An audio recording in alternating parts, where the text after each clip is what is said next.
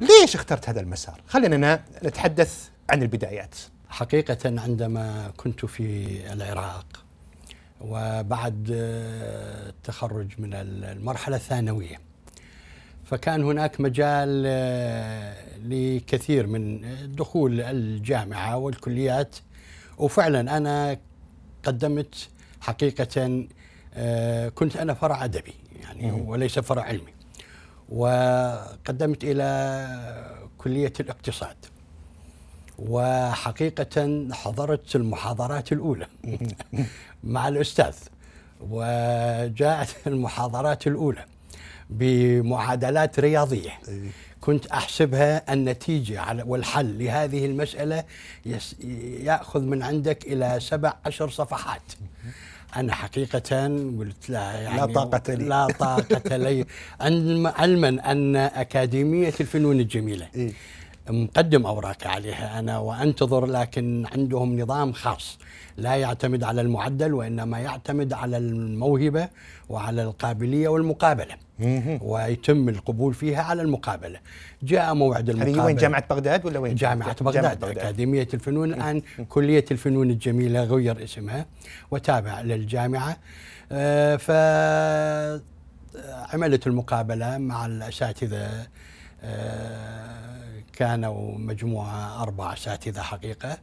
آه، عملوا أيضا معنا طلبوا سألوا واستفزوني في أول دخول لي حقيقة لأن هم كانوا يبحثون في كان متخصص بالإخراج والتمثيل في متخصص باللغة في متخصص بعلم النفس وهكذا يعني اللجنة والحركة المسرحية آنذاك في العراق شلون كانت؟ كانت متطورة متطورة متطورة وفرق تعمل وحقيقة وأساتذتنا كلهم حقيقة م. يعملون في هذا المجال.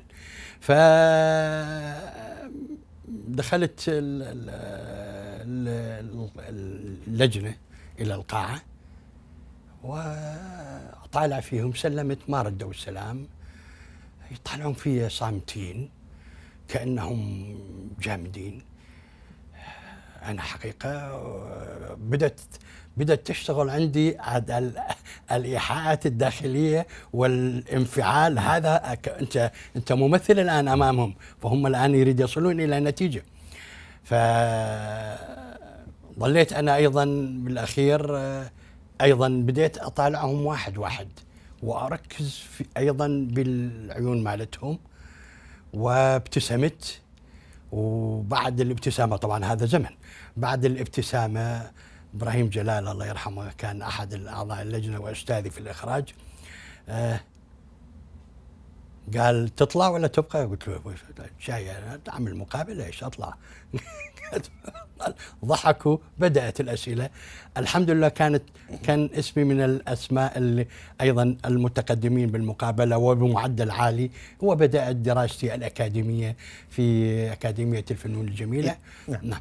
وتخرجت ثم عملت أيضا هناك في مجال المسرح داخل الكلية وخارج الكلية أيضا مثلت في أكثر من مسرحية ومشاهداتنا إلى مسرحيات الرائعة التي كانت تقدم في المسرح العراقي حقيقة في ذاك الوقت.